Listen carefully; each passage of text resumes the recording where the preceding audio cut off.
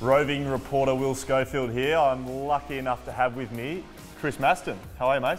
Yes, very well, Schofield. Uh, we've been lucky enough to catch you after your 100th game. How was it? Memorable or? Yeah, well, we got a win, which Yep. is good. Got a Gatorade shower, which was handy. And how did you go during the game, mate? Yeah. Were you a little injured? Yeah, mate, just oxed around, um, around the place and didn't touch the footy, but yeah, wasn't my role. Chris Masten in game number 100. Uh, you tossed the coin. Um, I saw you going up against the big fella Nick Riewoldt. You, you didn't look the tallest uh, at the coin toss. How did you go? Did you win or lose? I think the dude even tossing the coin was a bit big. he was a bit flattening. Yeah, I didn't, I didn't feel very comfortable in there. Did you Um, win? Nah, I lost. I thought you won it. Nah, I lost it. Um, I almost forgot which way we were, we were kicking. I had to really think about it. Did you get to call or did he get to call? He called. Oh, so you really did nothing. I did, I did absolutely nothing, Okay, that's a good- except tell the boys which I would on. Okay, okay. When the game was there to be won, it was the Eagles that won the game. What about the weights room? We're in here now. You've obviously done a bit of damage in here by the looks of you. Yeah, yeah, I've been throwing them around, mate. As you can tell, I'm pretty thick um, through the chest region, especially.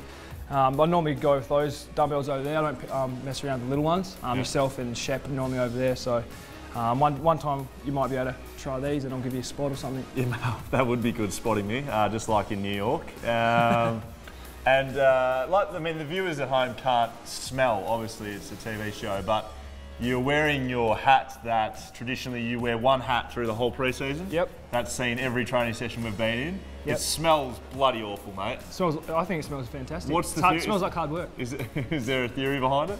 Yeah, well, What's the theory? it's, all the hard work's in this hat. I'm not going to wash it all out. Okay. It, it looks give, give- it looks disgusting. Have a look at it. It is absolutely. It's meant to be white, just just so everyone Yeah. knows. It's meant to be white. It's probably what is it, orange? Uh, it's, it's a murky, murky grey. It's like it's been in the river a few times.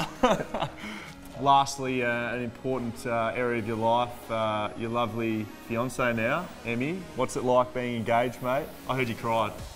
Nah, there was no tears on my, my end. Um, Emmy had a couple.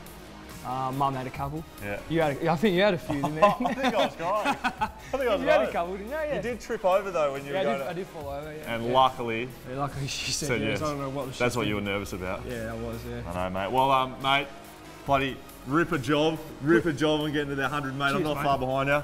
I might just limp in there the way I'm going, but see how we go. You'll be right, mate. See you, mate.